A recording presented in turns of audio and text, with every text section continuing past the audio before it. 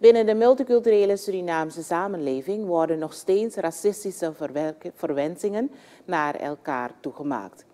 Dit zei president Chandrika Persat Santokhi gisteren bij de Anton de Kom-lezing, welke is gehouden in het Koninklijk Instituut voor de Tropen in Amsterdam.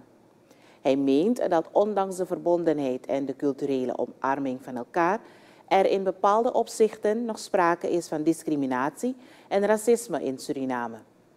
Santokhi zegt dat ons gezamenlijk verleden het bewijs is dat Suriname geen verdeelde samenleving kan zijn.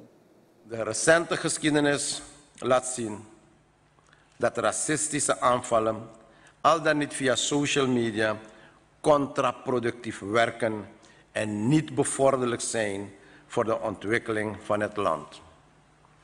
Suriname is een ambitieus land. Wij willen niet terugvallen in het moeras van verdeel- en heerspolitiek. Niet door de kolonisator, maar ook niet door onze eigen mensen. Iedere dag werken we keihard in het land om elke Surinamer het gevoel te geven dat ze eigenaar zijn van het land. Dat ze verantwoordelijk zijn voor de verdere ontwikkeling van het land.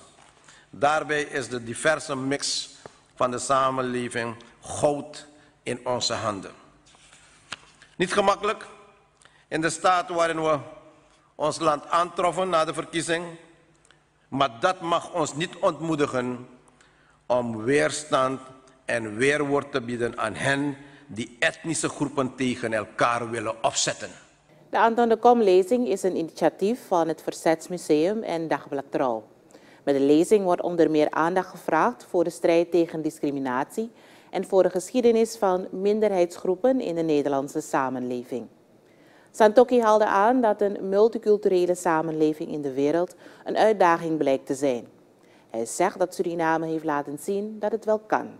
Zolang je de kracht van het verschil blijft respecteren.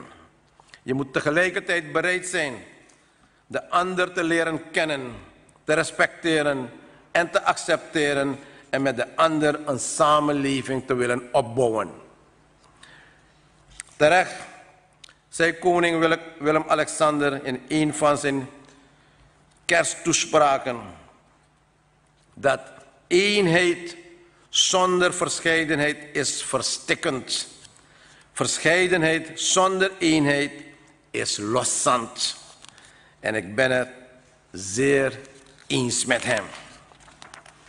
In Suriname proberen we juist te benadrukken dat je een eigen culturele eigenheid kunt hebben, maar dat je tegelijkertijd ook onderdeel bent van het geheel.